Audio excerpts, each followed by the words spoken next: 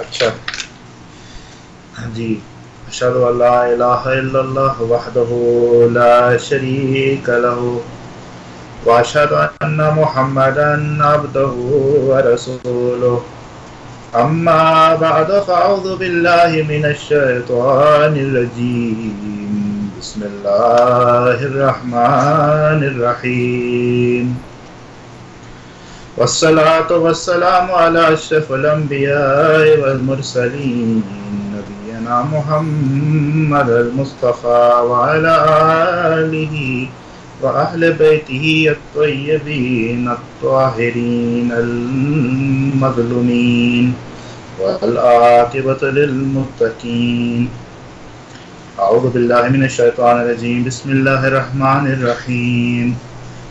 वमा मुहम्मदुन इल्ला रसूल कद खलत मिन क़ब्लिहि रसूल अफ़इन मात औ क़ुतिला इंक़लबतुम अला अक़ाबिकुम वमन यंक़लिब अला आक़िबैहि यज़ुरुल्लाह शै'a व सयजज़िल्लाहु शाकिरीन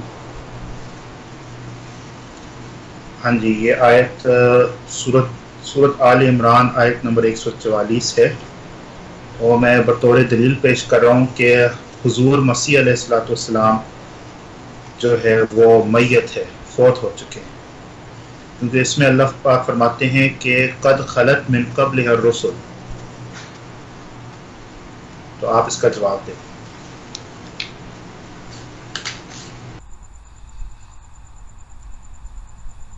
अल्हम्दुलिल्लाह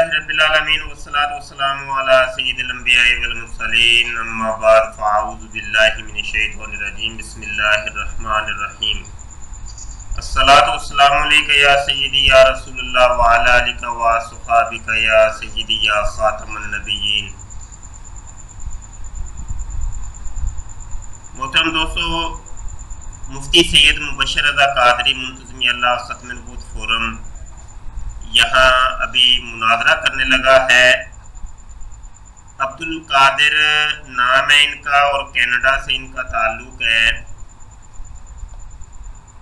और ये जमात अहमदिया से ताल्लुक़ रखते हैं, अहमदी हैं और मिर्ज़ा ग़ुलाम कादियानी को अपना नबी और रसूल और मसीह और इमाम महदी, ये सभी कुछ मानते हैं।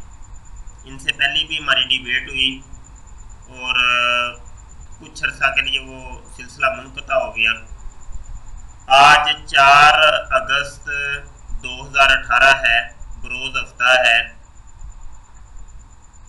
डिबेट का सिलसिला हम दोबारा शुरू कर रहे हैं।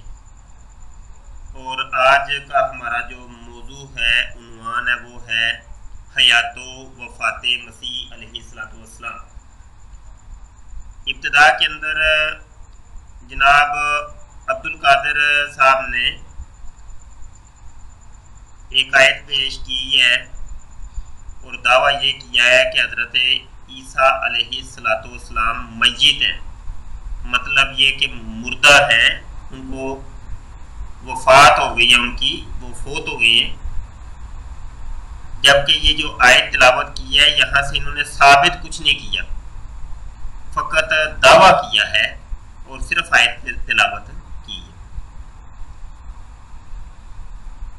यहाँ पर ये भी मैं बताता चलूँ कि अब्दुल कादर साहब जो है, ये ये भी दावा करते हैं मिर्ज़ा गुलाम का देने की तरह कि अल्लाह ताला मुझसे भी हम कलाम होता है और मुझे भी इल्हाम होता है। क्योंकि मिर्ज़ा गुलाम कादियानी का भी ये दावा था कि अल्लाह मुझसे हम कलाम होता है, मुझे इल्हाम होता है। तो वो ही दावा ये अब्दुल कादिर साहब का भी है। जिनका ताल्लुक कैनेडा से है और अभी स्क्रीन के ऊपर आप इनको देख रहे हैं। मौजू है चूँकि हमारा हयात वफात मसीह सलाम यहाँ पर मैं एक आयत कोट कर रहा हूँ। ये आयत है सूर्य निसा की और आयत का नंबर है वन फिफ्टी सेवन, एक सौ सतावन और एक सौ अठावन ये दो आयतें मैं यहाँ पेश कर रहा हूँ। हज़रत ईसा सलाम की हयात साबित करने के लिए। क्योंकि हमारा मुसलमानों का दावा है कि हज़रत ईसा नबीना सलाम ज़िंदा हैं और ज़िंदा आसमान पर उठा लिए गए और कुर्ब क़्यामत में वो ज़िंदा आसमान से नजूर करेंगे। जबकि अब्दुल कादिर कादियानी साहब और इनके जो खलीफा हैं, खलीफा मसरूर साहब और जो इनके मुँह बोले नबी साहब हैं, यानी मिर्ज़ा गुलाम कादियानी उनका ये दावा था कि ईसा सलाम फोत हो गए हैं। और जिस ईसा के आने की खबर हमें कुरान और हदीस में दी गई है, वो ईसा इबन मरियम मिर्ज़ा गुलाम कादियानी कहता था कि मैं हूँ। ये मैं आयत पेश कर रहा हूँ जी। जबकि अब्दुल कादर साहब ने तो आयत पेश की, उसका कोई ना ही सियाक बताया तो ना ही सबाक बताया तो ना ही वहाँ से कोई साबित की है कोई चीज़ जबकि हम आयत भी पेश कर रहे हैं और साबित भी कर रहे हैं। अल्लाह पाक इरशाद फरमाता है वकौलिहिम इन्ना कतल नल मसीहा ईसबना मरियमा रसूलुल्लाही, वमा कतलूहु, वमा सलाबूहु यहाँ पर और ये कहे कहे, कहे के सबब के हमने ये कहने के सबब के हमने मरियम के बेटे ईसा मसीह को जो खुदा के पैगंबर कहलाते थे कत्ल कर दिया। और उन्होंने ईसा को कत्ल नहीं किया और ना इन्हें सूली पर चढ़ाया। ये जलंधरी साहब का तर्जुमा मैंने पढ़ा है। यहाँ पर आयत के ऊपर गौर करिएगा कि आयत की इब्तदा में एक लफ्ज ज़िक्र हुआ है कि मसीह और मसीह का तारुफ आगे आया कि मसीह कौन सा? वो है ईसा इब्ने मरियम, यानी ऐसा ईसा के जो मरियम का बेटा है। और फिर एक और चीज़ भी बताई कि जो रसूलुल्लाह, जो अल्लाह का रसूल है, ये अल मसीह की वजाहत है कि कौन सा मसीह के जो ईसा इब्ने मरियम है और रसूलुल्लाह है, अल्लाह का रसूल है? दो अल्लाह ने तारुफ पेश किए मसीह के। इसके बाद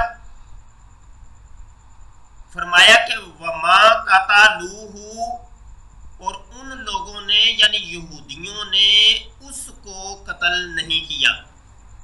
यहाँ माँ नाफिया है जो कि कर रहा है, उनके उस फेल की और उस कोल की को वो जो कहते थे कि हमने ईसा इब्ने मरियम को, जो कि रसूलुल्लाह है, जो कि मसीह है, उसको हमने कत्ल कर दिया। अल्लाह ने उसकी नफी कर दी कि ईसा इब्ने मरियम को उन लोगों ने कत्ल नहीं किया। वमा कतलू उन लोगों ने कत्ल नहीं किया, उसको। उन लोगों ने कत्ल नहीं किया, उसको हु। जमीर का जो मर्जे है, वो है मसीह। और मसीह कौन सा है? जो ईसा इब्ने मरियम है और रसूलुल्लाह है। माँ कतलू हु। उन लोगों ने कत्ल नहीं किया, किसको? Who co. हु जो जमीर है, उसको कत्ल नहीं किया। और जमीर खुद कोई हैसियत नहीं रखती, क्योंकि ये एक नाउन की जगह के ऊपर आती है प्रोनाउन के तौर पे इस्तेमाल होती है। ये इसमें ज़ाहिर की जगह के ऊपर आती है, जो कि इशारा तन दलालत करती है असल चीज़ की। अल्लाह फरमाते उन लोगों ने कत्ल नहीं किया ईसा इब्ने मरियम को। फिर आगे फरमाया, वमा साला बूहू और उन लोगों ने सलीब नहीं दी उसको। ना ही तो कत्ल किया है, और ना ही सलीब दी है। किसको? मसीह को। और मसीह कौन है? जो कि ईसा इब्ने मरियम है और रसूलुल्लाह है। उसको कत्ल भी नहीं किया और उसको सलीब भी नहीं दी। अब जब उसको कत्ल भी नहीं किया और उसको सलीब भी नहीं दी तो इसको फिर किया क्या? जब अल्लाह ने इनकार कर दिया, नफी कर दी दो चीज़ों की कि दो काम उन लोगों ने नहीं किए, कत्ल भी नहीं किया, सलीब भी नहीं दी तो फिर किया क्या? उसका जवाब हमें एक सौ अट्ठावन नंबर, एक सौ सत्तावन नंबर आयत के बाद जो एक सौ अट्ठावन नंबर आयत है, वहाँ पे मिलता है। अल्लाह फरमाता है, बल बल के। इंग्लिश में कहते हैं, बट। बट कहते हैं। तो यहाँ अरबी में कहते हैं, बल बल्कि हुआ ये कि जब उन लोगों ने ये दो काम नहीं किए तो बल्कि हुआ क्या? कहा कि, बल रफा बल्कि अल्लाह उठा कर ले गया, उसको अपनी जानब अब आयत का आप अगर स्याको सबाक देखें और फसाहत तो बलागत देखें तो हमें बहुत सी चीज़ें यहाँ से मिलती हैं। एक तो ये कि जिस ईसा इबन मरियम की तरफ़ अल्लाह पाक ने हू ज़मीर को सतावन नंबर आयत के अंदर लुटाया था, उसी हू ज़मीर को रफा के अंदर भी लुटाया जा रहा है। जिस हूज मीर का मर्जे और मिसदाक पहले वाली दो जमीरें थी, एक सौ सतावन के अंदर, उस हूज मीर का मर्जे और मिसदाक और मफहूम यहाँ भी मौजूद है, जो कि आयत एक सौ अठावन के अंदर। पिछली आयतों के अंदर माँ का था, लू हु, पहली जमीर, और आगे दूसरी जमीर है, वह माँ साला बू हु, ये दूसरी जमीर है। और अब तीसरी जमीर आ गई है, बल रफा इलेही, रफा हु। तो ये तीसरी जमीर है। इन तीनों जमीरों का मर्जे वो है अल मसीह कौन सा अल मसीह जो कि ईसा इब्ने मरियम है। और रसूलुल्लाह है। तो यहाँ पर एक बात क्लियर हुई कि पहली जो जमीरें थी दो, उससे ऐसी शख्सियत मुराद थी जो जिसम और रूह का मुरक्कब थी जिसम और रूह का मुरक्कब यानी ज़िंदा इंसान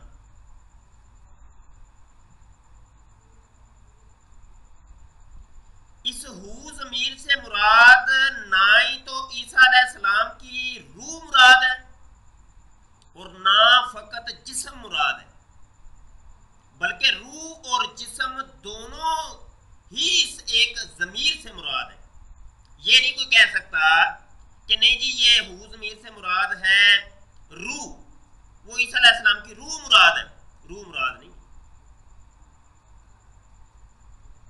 जो ये दावा करेगा कि रूह मुराद है उसको साबित करना पड़ेगा और क्यामत आ सकती है वो साबित नहीं कर सकती तो इन दो जमीनों से मुराद जो आयत एक सौ सतावन के अंदर अल्लाह ने इस्तेमाल की है अल्लाह पाक लेके आया है उससे मुराद जिसम और रूह का मुरकब है तो वही जिसम और रूह का मुरकब आयत एक सौ अठावन के अंदर भी है जिस जिसम और रूह के मुरकब को उन लोगों ने सलीब पे नहीं चढ़ाया और उसको कत्ल नहीं किया उसी जिसम और रूह के मुरकब को अल्लाह आसमान पर उठा कर ले गया बल रफा आयत हमें बताती है कि हज़रत ईसा अला नबी सलाम ज़िंदा आसमान पर उठा लिए गए। और यही मुसलमानों का अकीदा है, जमी मुसलमानों का। और इसी के ऊपर फतवा भी है। और जबकि जमात अहमदिया से ताल्लुक़ रखने वाले कादियानी मरजई, जो अपने आप को अहमदी कहते हैं, उन लोगों का दावा है कि जनाब नहीं, हज़रत इस्लाम फोत हो गए हैं। और हमारे सामने अब्दुल कादिर साहब भी हैं। इनको तो वैसे भी इल्हाम होता है। तो अब हम इनसे पूछते हैं कि आइए आप इस आयत के बारे में क्या कहते हैं? जी, अब्दुल कादिर साहब।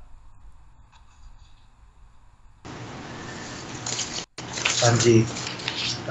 महमद रसूल करीम। पहली बात यह कि हम कोई टाइम लिमिट भी हद करें। मेरे ख्याल पाँच मिनट से तजावज़ ना करे।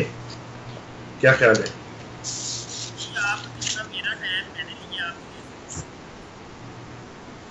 अच्छा ठीक है जी। पहली बात यह है कि जो आयत मैंने तलावत की ना, सूरत आल इमरान की आयत नंबर एक सौ चवालीस है, आपने कहा कि उसमें वफ़ात मसीह आपको नज़र नहीं आ रही है तो उस आयत का जो ये हिस्सा है कि कद खलत मिन कबल रसुल रसुल का जो लफ्ज़ है ना, वो अलिफ लाम के साथ आया है, यानी तमाम पैगंबर तमाम पैगंबर अल्लाह फरमा रहे हैं कि हुजूसम से कबल जितने दुनिया में पैगंबर तशरीफ़ लाए हैं, वो सारे के सारे कद खलत, यानी सारे के सारे फौत हो चुके हैं। और यहाँ जो खला का जो लफ्ज़ है, मेरे पास ये डिक्शनरी का जो किताब है, ताजुल उरूस ताजुल उरूस जो किताब है इसका सफ, इसका जिल्द नंबर अड़तीस है सफ़र नंबर ग्यारह है। उस पे एक साहिब लगत बहुत मशहूर है, इबन अराबी वो लिखते हैं, वो फरमाते हैं कि खला, जब ये कहा जाता है कि खला फलान कि फलाना आदमी खला, इज़ा माता। ये जब जब उनकी मौत की बात कर रहे हैं तो आप उस वक्त कहते हैं कि खला फलान कि फलाना आदमी वो गुजर गया, यानी वो फोत हो गया, वो मर गया। ये है मेरे पास मैंने हाईलाइट भी किया इबारत को, ताजुल रूस से। तो ये जो अल्लाह पाक फरमाते हैं कि कद खलत मिन कबल रसुल इसका माना है कि कि हुजूर ससम से पहले जितने पैगंबर गुजरे हुए हैं, वो सब के सब फोत हो गए। और हज़रत सईदना हजूर मसीह सलाम चूँकि हजूर नबी पासम के से कबल आए, वो भी फोत हो गए हैं इस आयत के रूह से। इसी तरह अगर आप इस आयत की, आपने कहा कि इसके सियाह सबाक क्या है, इसके पस मंज़र क्या है वगैरह तो उसको भी मैं भी बयान करता हूँ कि ये जब खुद हजूर वसल्लम फोत हुए तो उस वक़्त सईदना हज़रत उमर फ़ारूक रज़ी हो खड़े होकर फरमाए कि इन्ना रसूल अल्लाह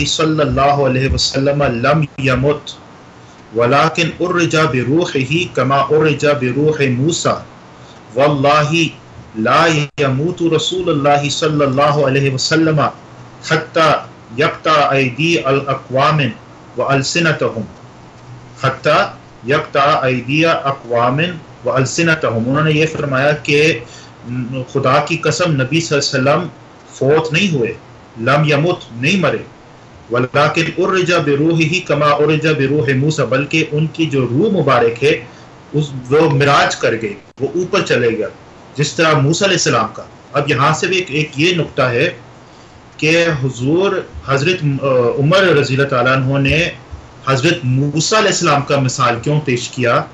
अगर सहाबा के इलम में यह बात थी कि ईसा वो आसमान में हयात है वो नहीं फोत हुए तो ये बात लाज, लाजिम मलजूम है कि हज़रत उमर ने उनका मिसाल पेश करना था। ये कि उनका मिसाल नहीं पेश किया। इससे मालूम होता है कि हज़रत उमर रजील रज़ी जैसे जलील कदर साबी रसूल और हजूर के दूसरा खलीफा भी है, दूसरा जानशीन है। उनके भी ये, उनके भी इल्म में ये बात थी कि ईसा सलाम फोत हो चुके हैं, लिहाजा मजबूर उन्होंने मूसा सलाम का मिसाल पेश करना था कि वलाकिन उर्जा बिरूह ही कमा उर्जा बिरूह मूसा। तो उस वक़्त यानी कि हज़रत उमर रज़ी अपने पूरे जलाल में थे। तो सईदना सदीक अकबर, हज़रत अबू बकर सदीक रज़ी हो वो तशरीफ़ लाए और उन्होंने तारीख़ी खुतबा जो है पेश किया, वो मैं खुतबा पढ़ना चाहता हूँ। उन्होंने ये फरमाया अयुहन्नासो इन ना मनकान या अबदो मोहम्मद फ़िन्ना मोहम्मद कदमात उन्होंने ये फरमाया ये लोगो, जान लो कि जो मोहम्मद वसल्लम की इबादत करता था फ़िन्ना मोहम्मद कदमात मोहम्मद वसल्लम जो है, वो फोत हो गए। कदमात और ये एक दूसरी बात है कि हमारा जो हयाती जो लोग हैं, जिनका ये कीदा कि हजूर वसल्लम हयात है, फोत नहीं हुए तो इस अकीदा के रद्द में हज़रत अबू बकर सिद्दीक का शानदार और तारीखी खुतबा मौजूद है। इसके आगे फरमाते हैं, वमन काना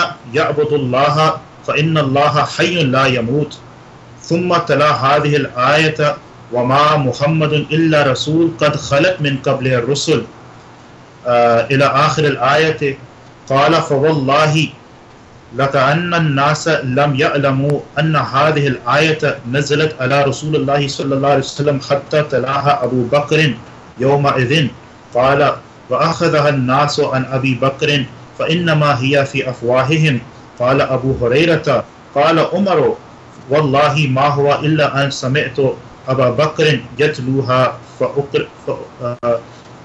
फ़उक़िरतु हत्ता वक़अतु इला अर्दि इला अर्दि मा तहमिलुनी रिजलाया व अरफ्तु अन्न रसूलुल्लाह कद माता तो इस पे हज़रत सईद अबू बकर ने वो आयत तलावत की जब भी जो वही आयत जो मैंने तलावत की है सूरत आल इमरान की आयत नंबर एक सौ चवालीस कद खलत मिन कबल रसूल। हुजूर सल्लम की मौत को साबित करने के लिए उसी आयत को तलावत की है। अगर आप कहते हैं कि पैगंबर जितने पैगंबर हुजूर से पहले गुजरे हुए, वो फोत नहीं हुए तो आयत बेमानी होती है। क्योंकि अल्लाह तो ये कहना चाहता है कि जिस तरह आपसे पहले जितने पैगंबर फोत, वो फोत हुए तो ये भी पैगंबर फोत होना एक दिन। वो फोत हुए है। हज़रत अबू बकर सदीक ने उसको भी तोसीक किया है। इसके आगे मैं आपको, आपकी जो आयत, जो आपने एक दलील पेश किया है सूरत निसा की आयत नंबर एक सौ सतावन तो उसमें आपने ये कहा कि मैं इससे आयत साबित करूँगा कि हजूर मसीह हयात है, ज़िंदा है और फोत शुदा नहीं है। लेकिन उस आयत में सिर्फ़ आपके कत्ल और सलीब देने का सलीब देने का जो नफ़ी है तो कत्ल का नफ़ी से से ये आप कैसे साबित कर रहे हैं कि फोत नहीं हुए हैं? हम भी कहते हैं कि कत्ल तो नहीं हुए हैं। ये जिन लोगों का अकीदा है कि वो मकतूल है, अल्लाह पाक ने उसके रद्द किया। अल्लाह पाक ने इस बात की रद्द नहीं किया कि वो फोत शुदा है। यह तो रद्द किया कि वो मकतूल है। फिर आगे आपने ये कहा कि वह जो है अगली आयत में अल्लाह पाक फरमाता है कि बर रफ़ा बल्कि अल्लाह पाक ने उनको अपने तरफ़ बुलंद किया। यहाँ से एक बात साबित होता है कि अल्लाह पाक ने अपने तरफ़ बुलंद किया है, आसमान का ज़िक्र नहीं है। यानी ये नहीं लिखा है कि बर रफ़ा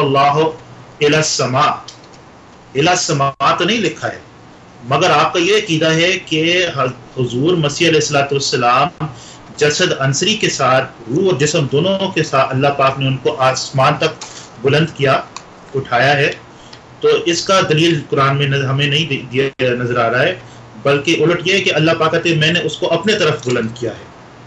अब अगर आप कहते हैं कि ईसा जिसम के साथ आसमान में चले गए तो ये बात लाजिम मजूम है कि आपकी नज़र में अल्लाह तबारक ताली जिसमानी वजूद रखते हैं। यानी नौजबिल्ला अल्लाह का भी जसद है, क्योंकि जसद तो जसद तक बुलंद होता है।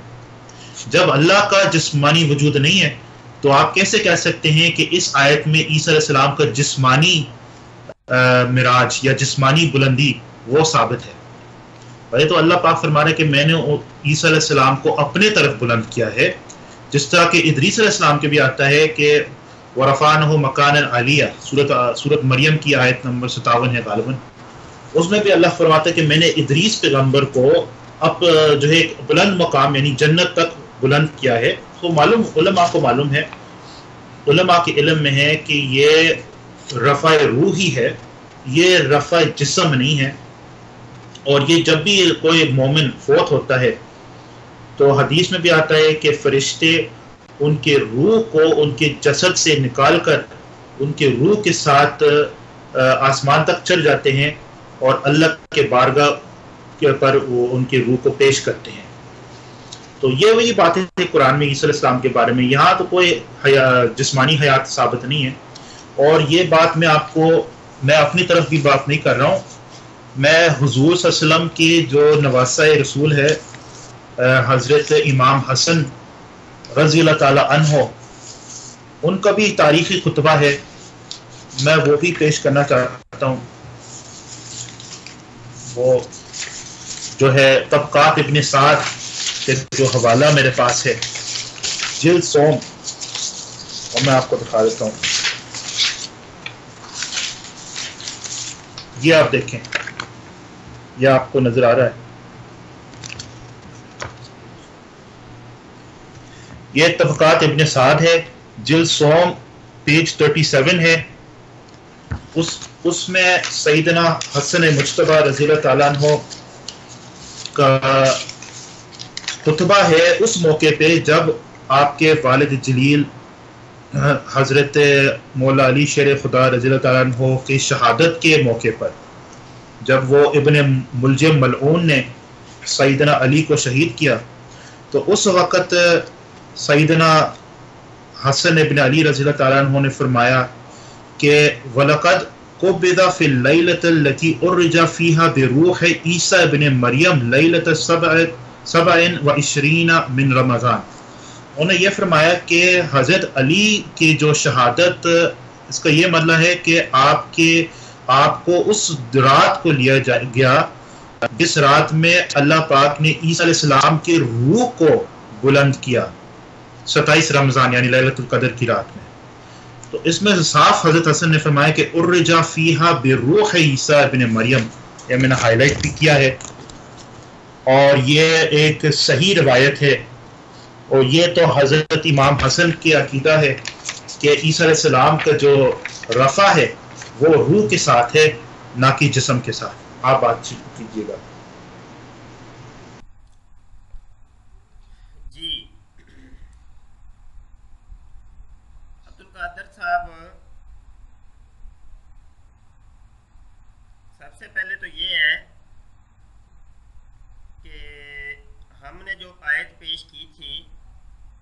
उसके ऊपर कुछ एतराज़ात आपने किए हैं।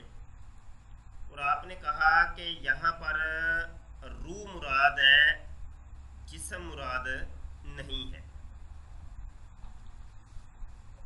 और इसकी मिसाल फिर आपने हज़रत अयूब सलाम की दी है। अयूब सलाम की दी है आपने? नहीं हज़रत इदरीस। हज़रत इदरीस की कौन सी आयत थी? नंबर सतावन सतावन फिफ्टी सेवन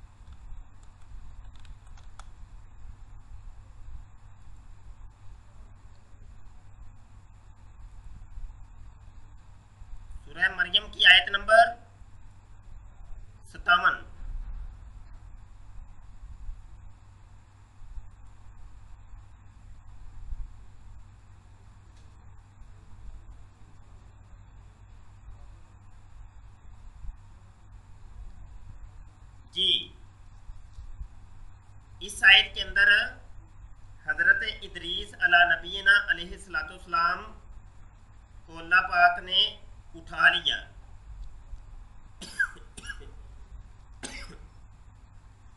पहली बात तो यह है कि अपनी तरफ़ उठाया, उसका यहाँ पे तस्करा नहीं है। इसको नोट कर लें। आपने कहा कि हमने जो आयत पेश की है, उसके अंदर इसमें कहाँ पे तस्करा है कि अल्लाह ने आसमानों के ऊपर उठा लिया?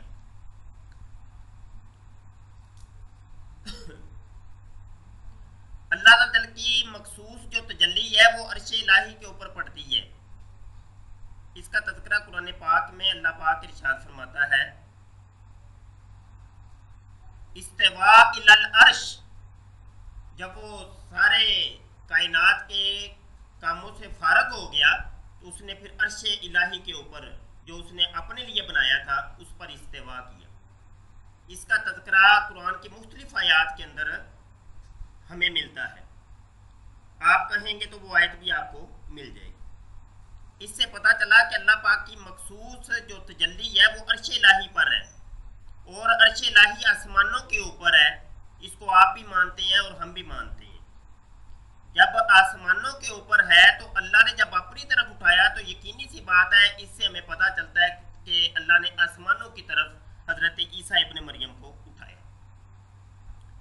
अब रही ये बात, सवाल ये पैदा होता है कि ईसा इबन मरियम जिस्म रूह के साथ ज़िंदा आसमान पर उठाए गए कि नहीं उठाए गए उसकी एक दलील तो मैंने आपको आयत दी और,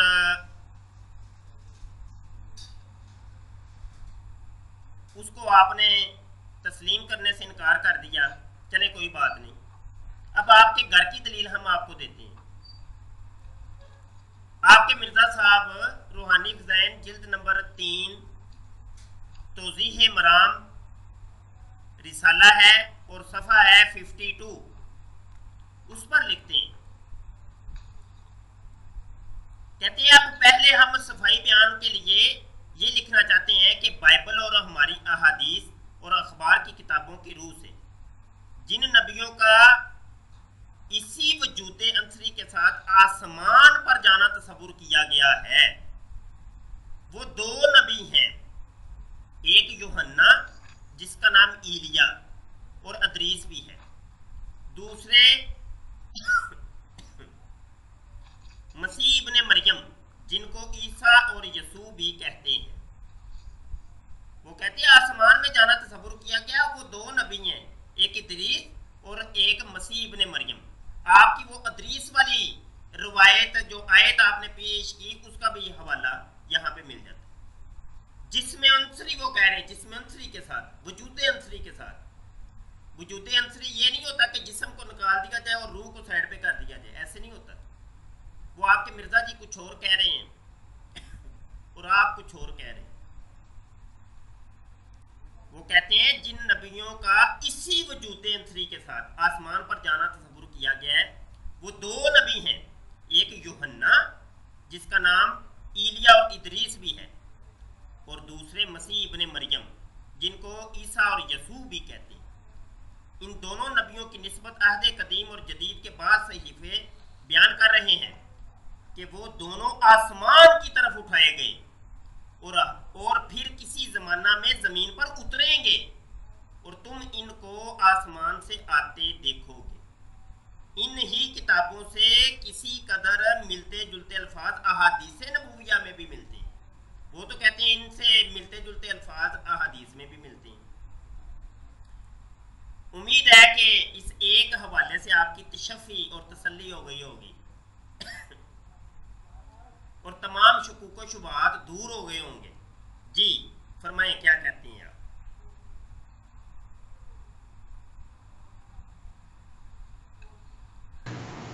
देखिए आपने एक इल्ज़ामी जवाब दिया है। आप तहकीकी जवाब भी दे के इल... अच्छा। तो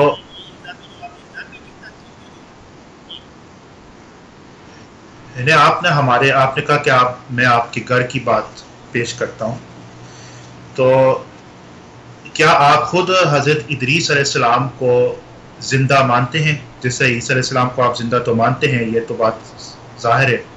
लेकिन इदरीस सलाम को के बारे में आपको क्या था ये भी आप अपने टर्न में वाजे करें। फिर आ, आपने कहा कि मैं आपके घर की बात पढ़ के सुनाता हूँ। मैं भी आपके मौलाना मौदूदी साहब का जो रसाइल मसाइल है, जिल सोम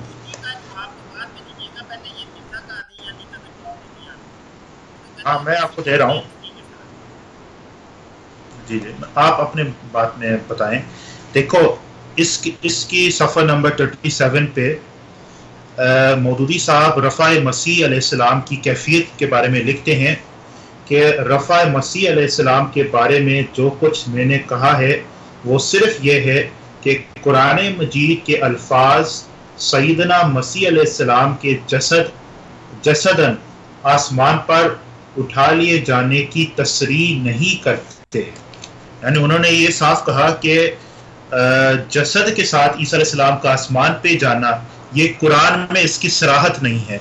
तो आप किस तरह कुरान से दलील पेश कर रहे हैं कि आप किसी और चीज़ से दलील तो पेश कर सकते हैं मगर कुरान से किस तरह दलील पेश कर रहे हैं? मैं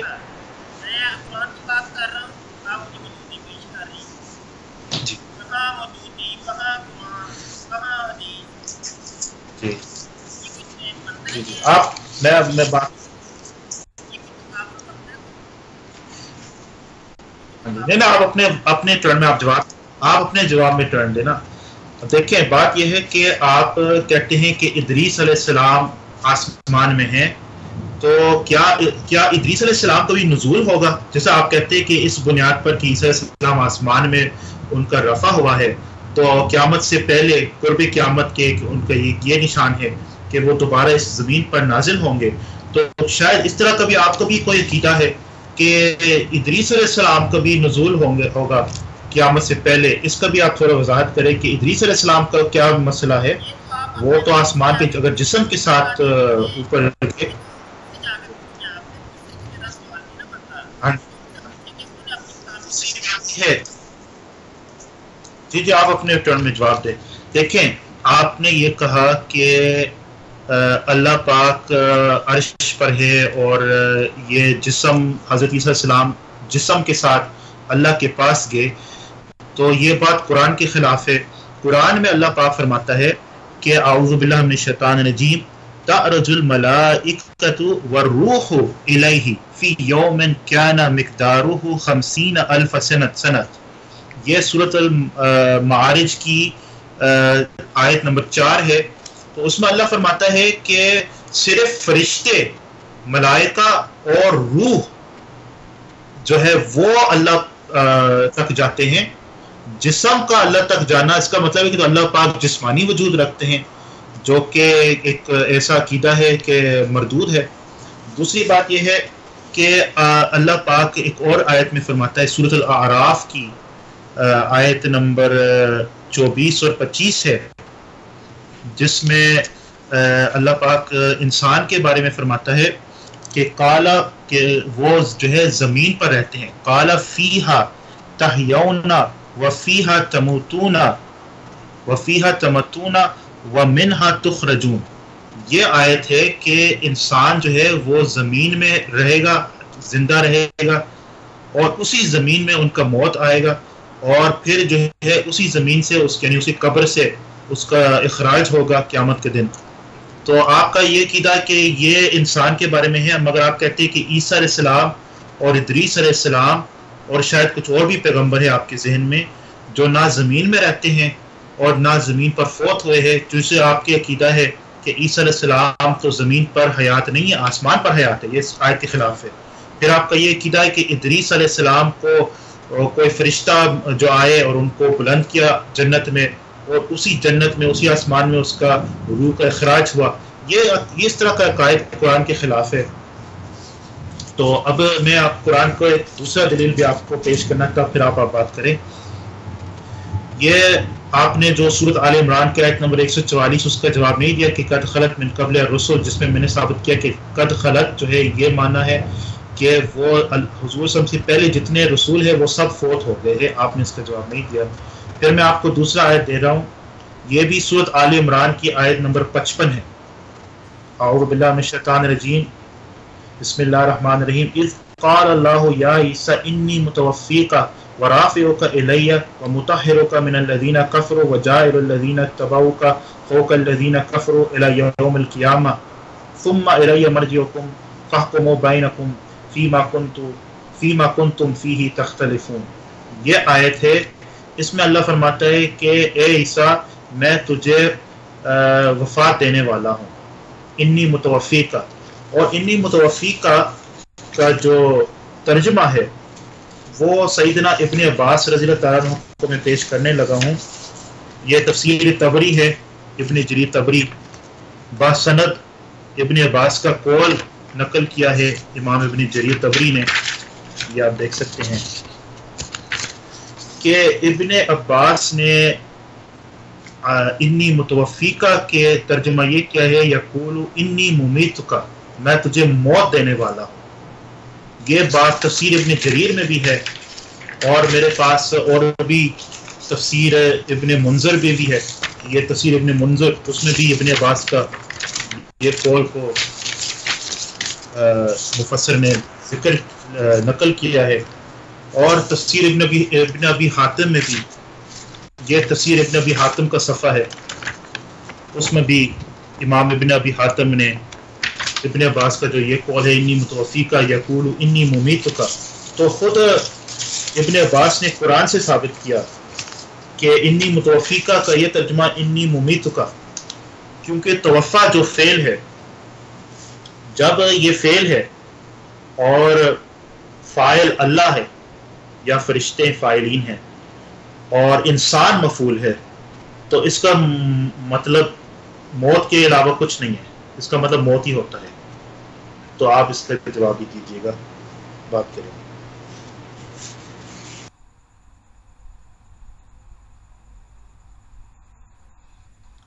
जी, अब्दुल कादर साहब। यहाँ पर आपने एक तो गुफ्तु बड़ी तवील की और इसके अंदर मुख्तलि मौजूद आपने छेड़ दिए हैं, जिनके ऊपर पूरी पूरी एक डिबेट की हाजत है। कद खलत के तर्जमा और मफहूम के ऊपर हम टाइम फिक्स कर लेते हैं, उस पर पूरी एक डिबेट होगी। लफ्स कद खलत के ऊपर। तवफ़ा के ऊपर पूरी एक डिबेट की हाजत है। वो उसका भी टाइम फिक्स कर लेते हैं, उसकी अलग से एक डिबेट हो आपके सामने सिर्फ़ ये अर्ज़ की गई है कि रूहानी खजैन जिल्द नंबर तीन, सफ़ा बावन के ऊपर मिर्ज़ा कादियानी खुद कहता है, जिसको आपने नबी बनाया, अपना रसूल बना लिया। वो कहता है कि जिन नबियों का इसी वजूद, उनसरी के साथ आसमान पर जाना तस्वुर किया गया। दोबारा सुने। इसी वजूद, अंसरी के साथ आसमान पर जाना तस्वुर किया गया है। जिन नबियों का इसी वजूद, अंसरी के साथ आसमान पर जाना तस्वुर किया गया है, वो दो नबी हैं। एक योहन्ना, जिसका नाम ईलिया और इदरीस भी है और दूसरे मसीह इबन मरियम, जिनको ईसा और यसू भी कहते हैं। फिर आगे कहते हैं, वो दोनों आसमान की तरफ़ उठाए गए और फिर किसी जमाने में ज़मीन पर उतरेंगे। आपने ये सवाल मुझसे किया है कि क्या आप अदरीस के वापस आने के कायल हैं? वो तो मिर्ज़ा बता रहा है ना। ये तो मिर्ज़ा कादियानी ने बताया है। वो कहते हैं, किसी जमाने में ज़मीन पर उतरेंगे किताबों से किस कदर मिलते जुलते अल्फाज अहादीस नबविया में भी पाए जाते हैं। ये तो मिर्ज़ा कादियानी कह रहे हैं वो कहते हैं, अहादीस में लिखा हुआ है कि इदरीस और ईसा आसमान से वापस आएँगे, उतरेंगे। इसका जवाब आपने नहीं दिया। मैं इसका जवाब आपसे लेना चाहता हूँ। जी, आप घंटा फिर तकरीर कर ले, लेकिन मैं, मुझे इस इबारत का जवाब चाहिए। चलिए। देखिए इस, इसका जवाब बहुत आसान है। ये बिल्कुल हज़रत साहब का जुमला है मगर ये मनसूख है। इन्होंने बाद में इससे रुजू किया कि नहीं ये अकीदा दुरुस्त नहीं है।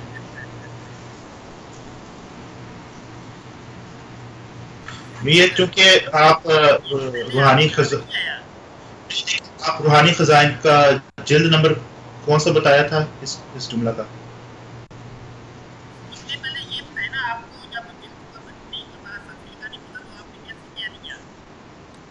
नहीं नहीं मेरा ख्याल आपने जिल्द ग्यारह लेकिन मैं कंफर्म करना चाहता हूँ आपने जिल्द ग्यारह।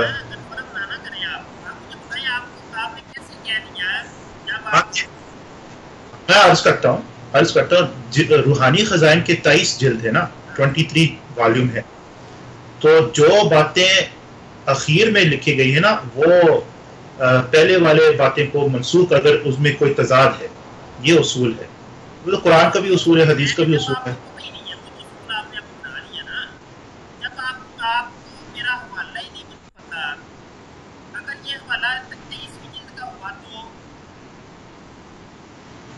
तो? फिर बड़ी बात है आप पेश करें। तो आप बताएँ अगर वो तेईस जल्द में है।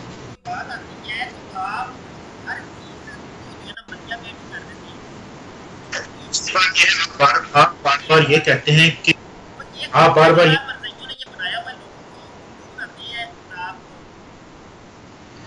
देखिए आप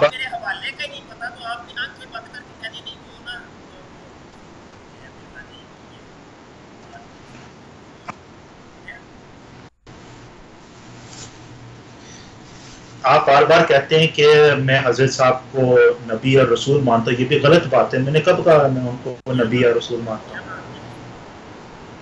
मैं उनको मुजद मानता हूँ मुहदस मानता हूँ, इमाम मानता हूँ, सब कुछ मानता हूँ, मगर नहीं मानता हूँ।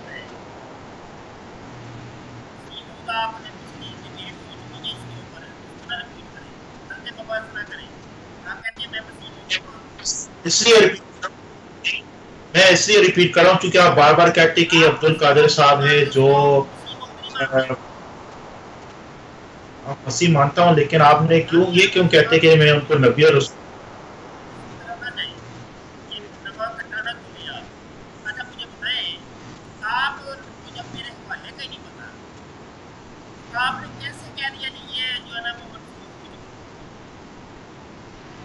नहीं वो हवाला मुझे आ, मैंने एक ज़माने में पढ़ा है, वो तफसील उसका याद नहीं है कि किस जिल्द में है, किस किताब में है, मगर इतना तो मालूम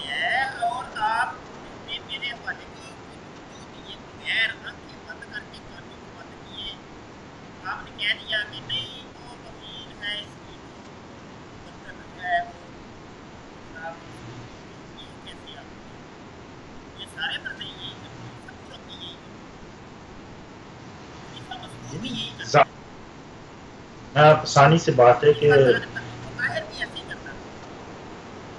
ज़ाहिर है कि जब ज़ाहिर है जब हज़रत ने बात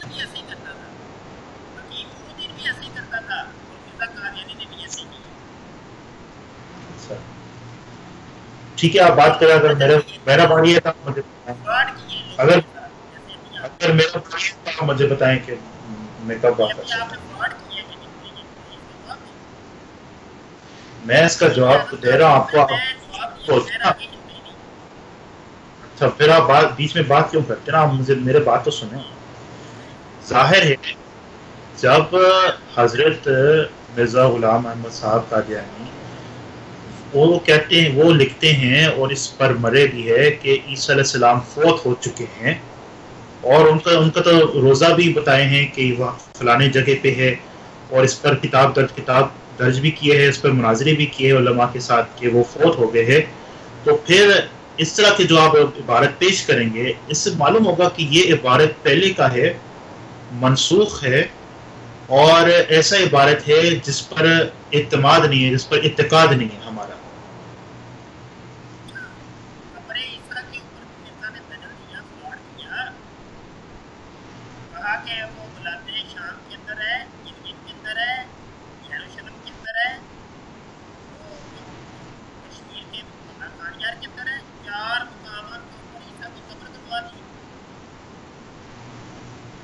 ठीक है मगर वो मौजू नहीं ना। आप मौजू वफात मसीह है उसको आप पहले मुकम्मल करते हैं आपने छेड़ा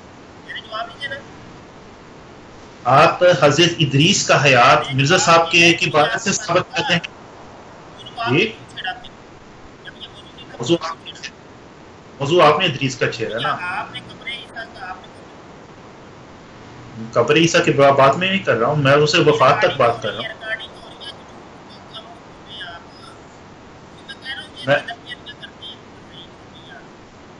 हम वफात पर बात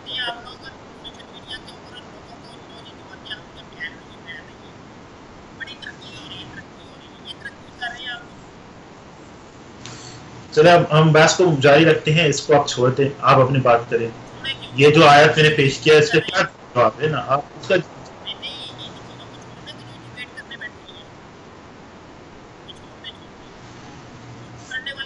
हम वफात मसीह हम वफात मसीह पर बात करें अभी तक आपने मेरे बातें का जवाब नहीं दिया आप खुद रिकॉर्डिंग भी कर रहे हैं तो उम्मीद है आप रिकॉर्डिंग एडिट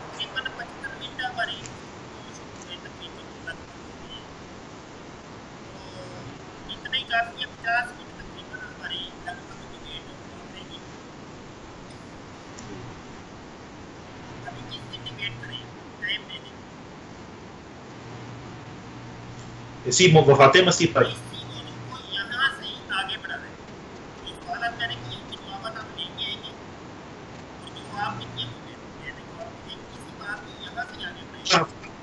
अगला हफ़्ता बात करते हैं इंशाल्लाह।